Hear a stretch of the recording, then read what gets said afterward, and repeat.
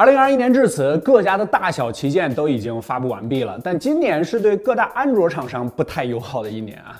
火龙八八八可以说没人可以很好的驯服，各家机型的表现也是千差万别。之前我们已经做过了一期驯龙高手专题啊，有兴趣你可以去翻看一下。麒麟性能虽然高歌猛进，但是遗憾又无心可卖。时至今日，地表最强 SOC，基友们都知道肯定是 A 十五了。那它们的差别到底有多大？实测游戏各个环节到底怎么样？极限性能又在哪儿哈喽大家好，我是王炯，欢迎收看本期视频。小白测评二零二一年度旗舰 SOC 性能大横评，我们马上开始。对面向我们走过来的是矫健的参赛选手们。首先是麒麟代表队啊，华为 Mate 40 Pro 5G，虽然人数不多，但它依然坚守使命。A 系列代表队自然是苹果最强的13 Pro Max，这次 A 十五刀法精准啊，分成了三档，后面会详细展开亮相。最后是浩浩荡荡的骁龙代表队，选手众多啊，为了防疫要求控制人数，在上期的预选赛中，荣耀 Magic 3 Pro、红魔 6s Pro、iQOO 8 Pro 算是脱颖而出，代表八八 Plus 参赛。提前说明，本期是最强旗舰处理器的极限。性能测试，日常是没人这么干的啊！大家理性看待，仅供参考。OK，现在把开赛两个字打在公屏上，我们正式开跑。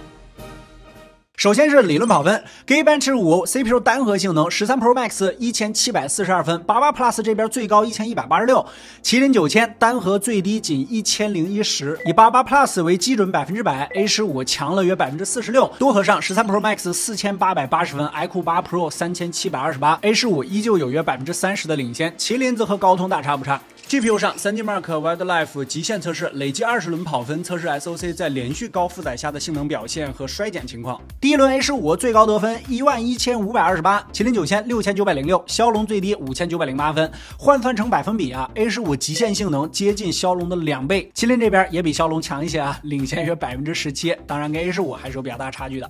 当然这只是第一轮不到一分钟的表现，二十轮啊，持续高负载下，荣耀和 iQOO 趋势基本一致，最后都在三三千八百分左右。但前期跌幅，荣耀相对来说要明显更慢啊，性能更稳一些。红魔六 S Pro 作为游戏手机，肯定不能扭捏啊，非常激进，全程发热不降频。即便是这样不顾一切的疯狂跑，也刚好追上发热降频的十二 Pro Max 的 A 十四。麒麟九千前十轮表现不错啊，后续由于发热降频，性能跌落至和骁龙一个水平了。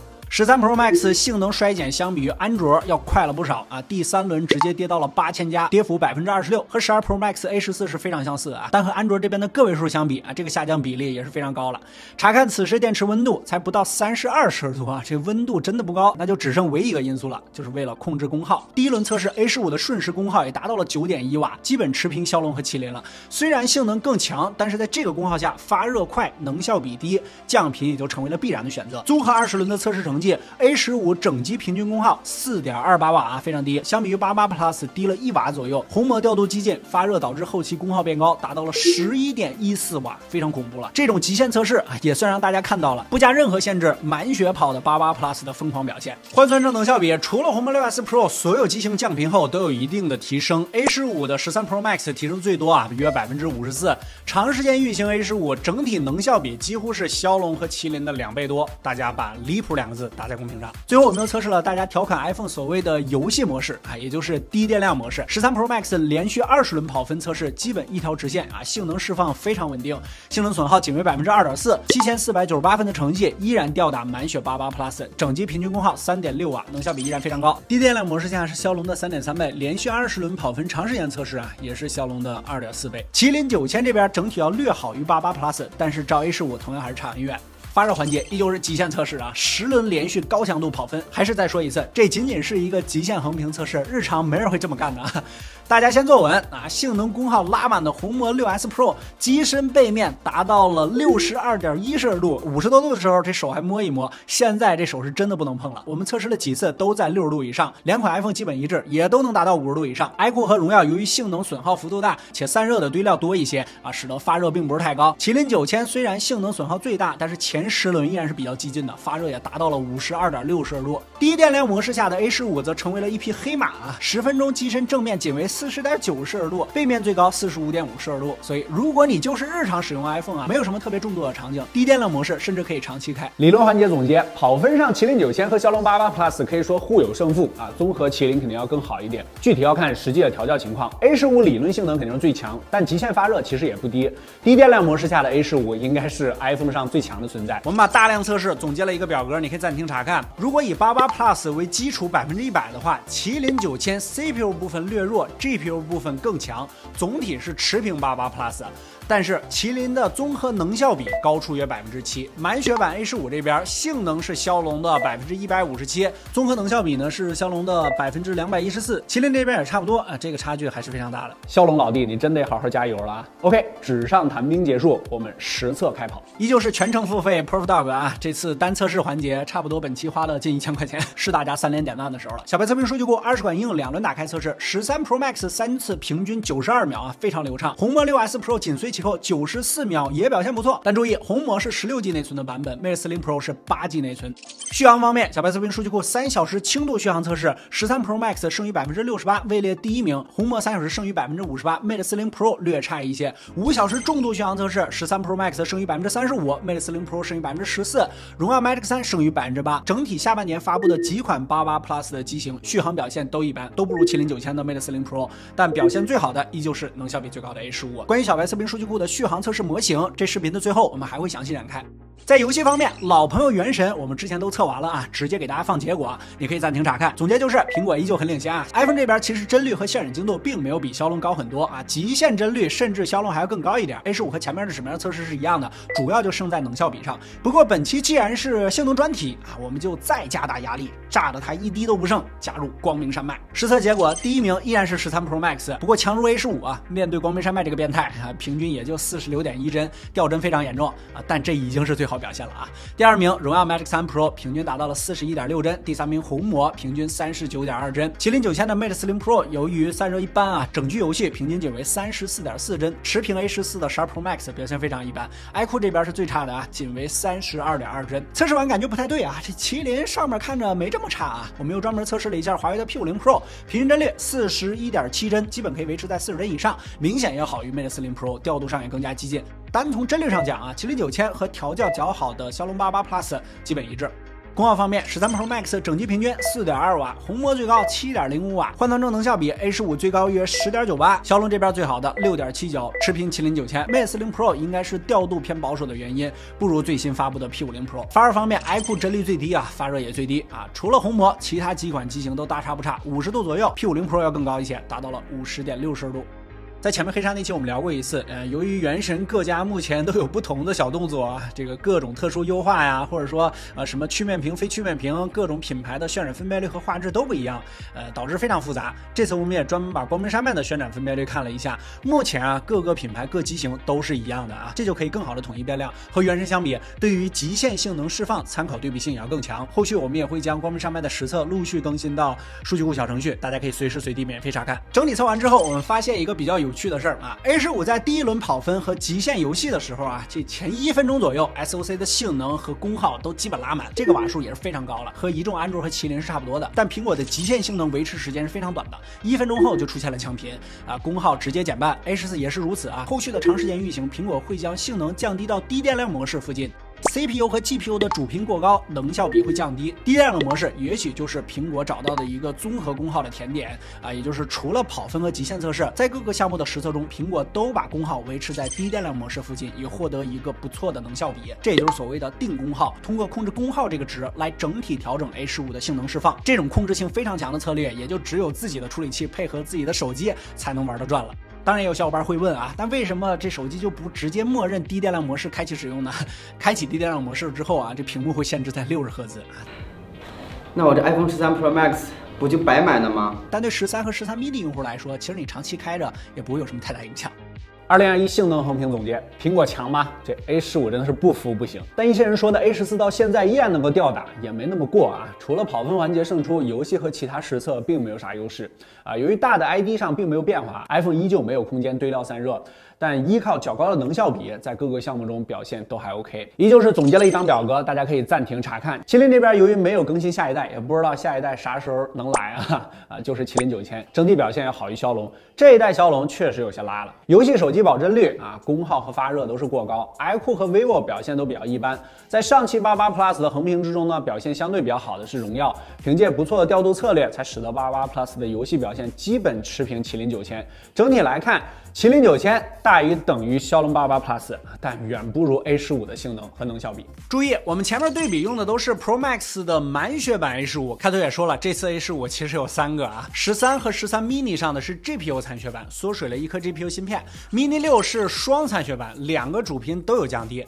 GPU 虽然介绍参数和十三 Pro 一样啊，都是五核图形处理器啊，这个在最开始我还感觉非常惊喜，但使用中它却有降频。全部实测完，我们又总结了一张表格，你可以暂停。查看你想了解的基本这里边都有了啊，是大家三连的时候了。这次我们以满血版 A 十五为基准，百分之百跑分实测，CPU 单核啊十三和 Pro 是一致的，但由于机身散热不如 Max，多核略弱一些，GPU 少了一颗核心，理论性能上低了约百分之十三点二。综合一下，十三标准版的 A 十五是十三 Pro Max 上满血版的 A 十五百分之九十四点三的综合性能，mini 六上的 A 十五 CPU 主频降低，单核百分之九十一点九，多核百分之九十三点八。GPU 差不多是满血版的百分之九十一点三的性能，但是它还是强于直接少了一颗 GPU 核心的十三标准版。还是综合一下，mini 六上的这颗 A 十五是十三 Pro Max 上满血版 A 十五百分之九十二点三的性能，稍微有点复杂，你可以倒回去再看一遍。mini 六虽然如此啊，但是长时间极限测试的话，由于机身大，散热要更好一些，mini 六明显要更稳。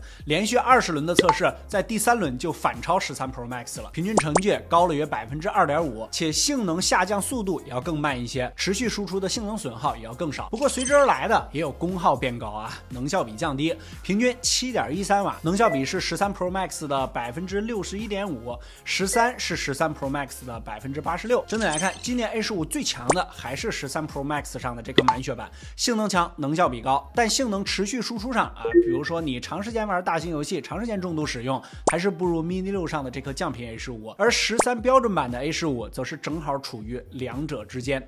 刀法精准四个字必须打在公屏上。iPhone 其实一直都是一个非常设计驱动型的产品，但凡多给处理器一些散热加持，A 系列就可以发挥的更猛。但这么多年下来啊，苹果还是更希望追求影像啊，所以在可预见的未来，如果有空间啊，苹果还是更愿意给它的摄像模组。大家吐槽很久的降频降亮度的问题，依旧会长时间的存在。但骁龙就不同了，厂商众多，类型众多，可供发挥空间也更多。大众用户并不是都喜欢别人替他做选择，但。就是希望明年真的不要这么热了。性能横平至此就都结束了啊！但就是这期视频，我们还想再聊一个话题，就是续航测试。其实这个问题之前我们也简单聊过。那为什么啊数据库就一直选择在 WiFi 环境下测试呢？一个字：控制变量。数据库的核心是统一性，在我们的能力范围之内，尽可能统一标准，控制变量。只有这样的数据，才有相互之间的对比性和参考性。而拆卡确实会带来很多不可控因素。运营商就是三家嘛，然后是四 G 还是五 G，还是四五 G 来回跳，不同地区的基站信号情况，不同时间段基站的负载情况，不同时间段不同运营商基站的负载情况，不同时间段不同地点不同运营商的负载情况啊，这有点绕口令了啊，但确实就是这样。还有不同地区的环境温度，不同时间段的信号强度等等等等，每增加一。个变量实际测试量都是呈指数级的暴增，你随便加几个就变成了一个不可能完成的测试任务了。